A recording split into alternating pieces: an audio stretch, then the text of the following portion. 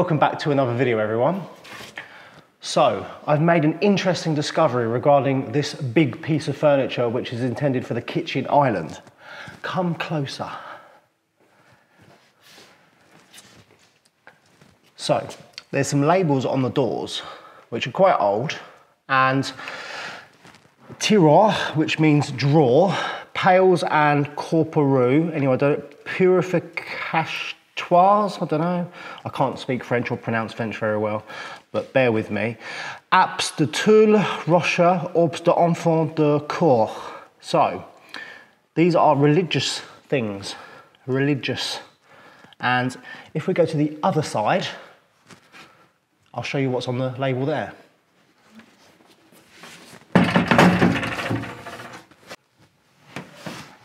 And this one is Tiroir 1, Napster Actuel. Actuel is an altar, Banque de Communion. Tiroir 2, Dentelle de Actuel. So these are all um, fabrics and things for the altar. Torchon de Blanc, Pals de, I can't remember. Ancien Ub, Orbs, I can't pronounce any of it. But um, I did think it was originally probably a piece of furniture for maybe a chateau at first. So things to like press or fold linen on top of and then store within. But on my phone here, I found some photographs of other versions of what this essentially is. So this photograph here is a cathedral and this is a sacristy within the cathedral. You can see this huge piece of furniture, which is the very similar shape to ours obviously a bit more ornate and it would have been for the same thing, for storing things for a church or a cathedral. And then I've got another one here as well, which probably is more similar to ours. This again is a sacristy in a church or a cathedral.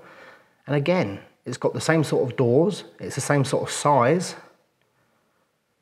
For storing religious fabrics, decoration for the altar, yeah, so it's incredibly interesting and yeah, what a discovery. So it's quite ironic that it's come from either a church or a cathedral and now it's ended up in a convent's kitchen or it's going to end up in a convent's kitchen. So it's pretty amazing how these things happen because I just thought it was out of a chateau. But anyway, yeah, let's crack on and do some work.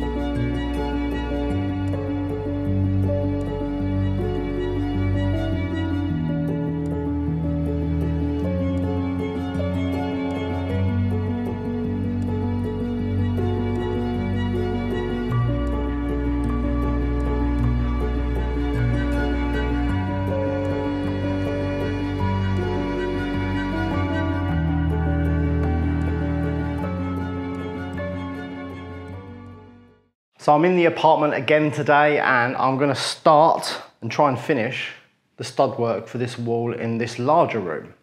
And um, yeah, I've got the bottom plate in and the top plate is all fixed as well. So now I've got to do an upright in this corner around that sort of open access to the kitchen and bathroom. And then I can fill in the stud work on this side. And then next week we can start studding it and well, getting the insulation in, plasterboard and things like that. So it's ready for Simon to plaster and I can move on to another room. So we'll try and get it done as quick as possible. Yeah, should come together quite nicely. And then it appears that I'm now going to be renovating Ryan's abandoned apartment that he's completely demolished for me, which is actually quite a good thing. So he spent seven days ripping out all of the bad work and now we can replace it with new stuff. So it's quite a good thing that he's done that. And upstairs will be better for him as well because it's just decorating, literally decorating. And that's probably more his style, I think, because he doesn't know how to do stud work and things like that. But he will learn. I will show him what I'm doing so he has an idea of what he can do in the future. You know, always best to share skills. So I am going to crack on with this and I'll catch you all later.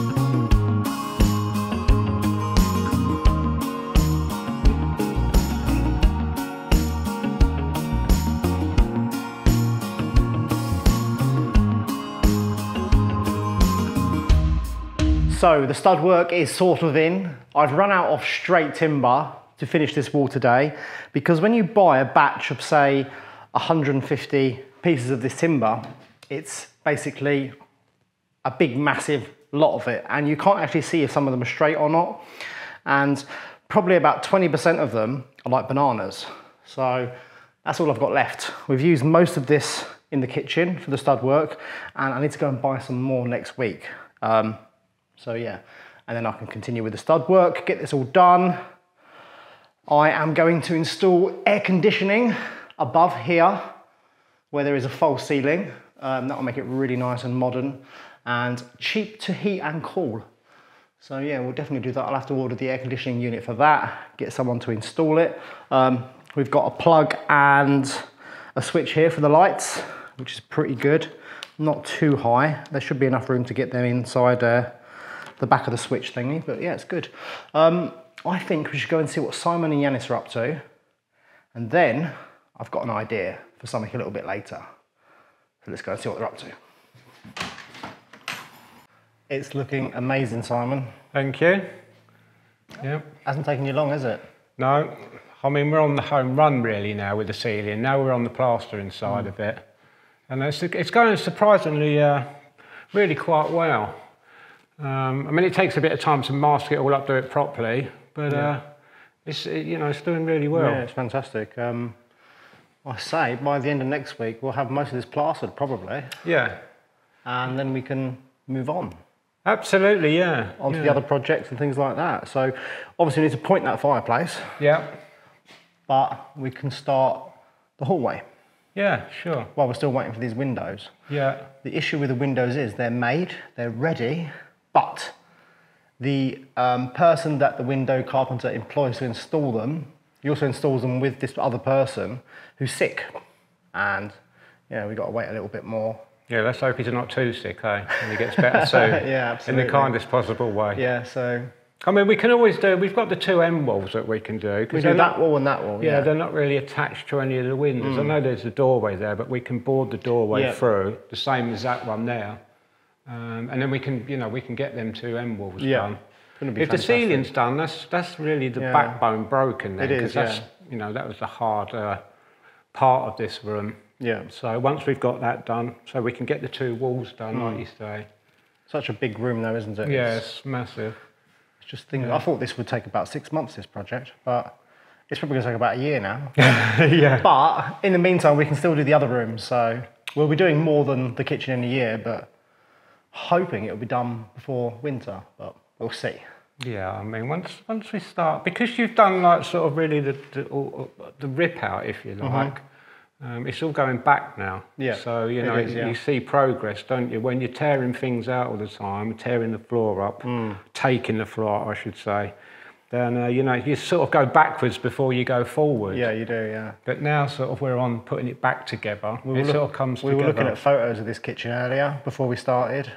yeah, Amazing transformation, even just at this point. yeah. So yeah, It's come a long way, hasn't it? yeah. So I'll let you crack on, mate. Okay then, mate. And uh, yeah, you're doing a fantastic job. Appreciate it. Thank you. just watering the plants. So apparently in Europe, there's going to be a heat wave this weekend, and uh, it was quite cold this morning, but now it's like 30 degrees Celsius, and I don't want the plants to dry out. They need watering, so we're going to do this, and then we're going to go upstairs and make a discovery. So let's crack on.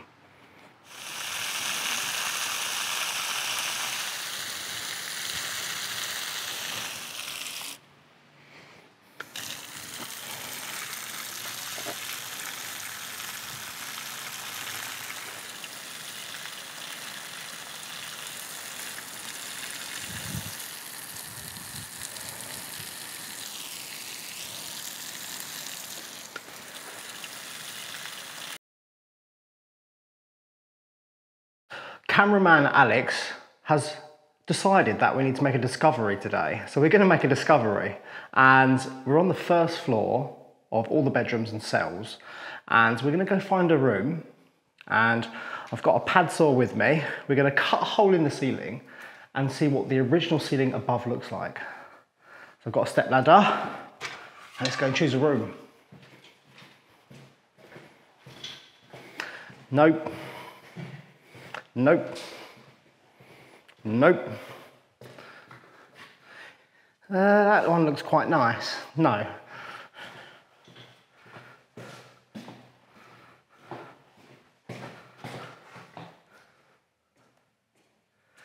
Uh, yeah, this one will do. Number 13.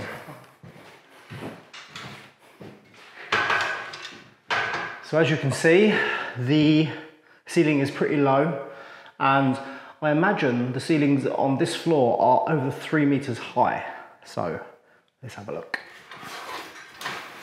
The reason I chose number 13 as well, because there's already a hole in the wall.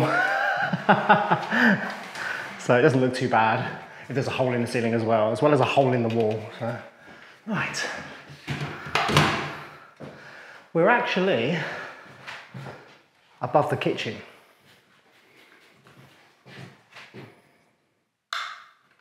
So while Simon's actually probably below us, so there's one, two, three windows. Is that three windows?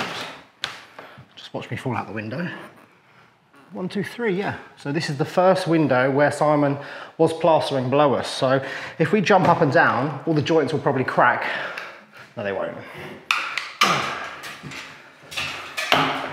Mask first.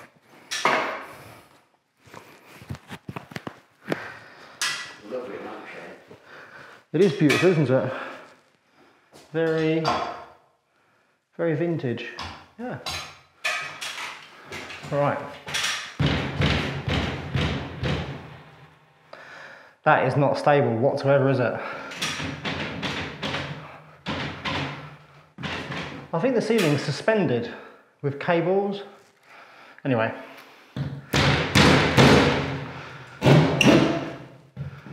Let's just do a hole.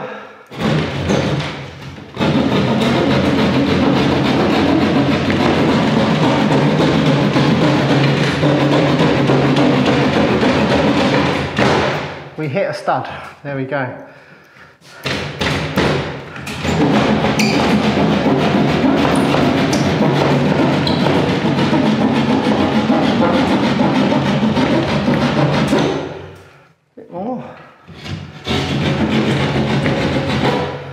Quite a big head, you see.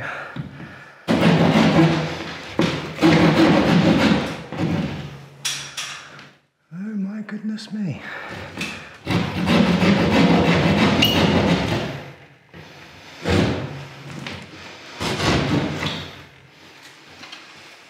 Wow, I wasn't expecting that.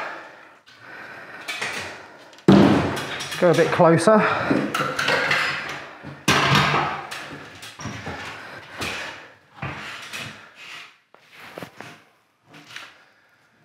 Wow.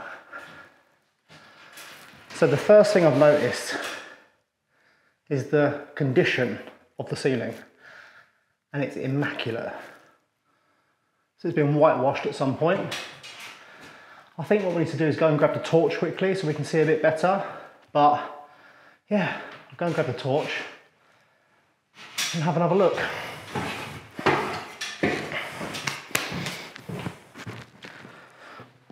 Right, so I've got a tape measure and we're going to measure the height of the ceiling if it stays there. I said three meters, didn't I? What's it going to be? Oh no, please be three meters. Please be three meters. I can't be wrong. Three meters 20. Yeah, I was right, yeah. So they're quite high ceilings. That's pretty amazing.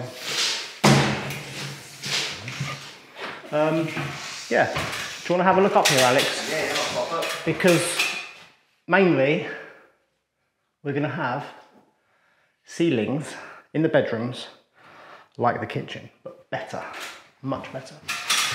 So what you can see everyone is beams, beautiful beams. And then at the end you can see the main beams, which are the same size as the ones in the kitchen. And there's also one behind the camera as well, which is massive.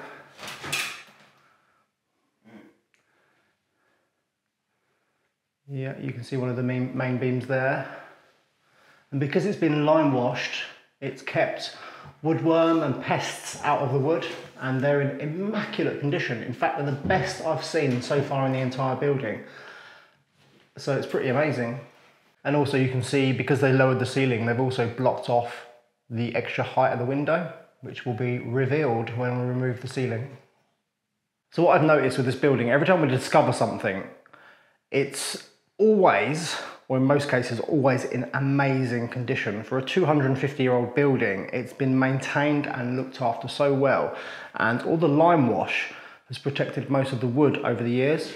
And yeah, every time we make a discovery, apart from the odd thing, everything is just in great condition. So yeah, I hope this continues and we don't discover something sinister later on. So that's it for this week, everyone. We were intending to go for a drink across the road at the bar, but it's Bastille Day in France, which means it's a bank holiday. Nothing's open, so we have to go home and have a drink. So thank you so much for watching, and I'll see you all next week.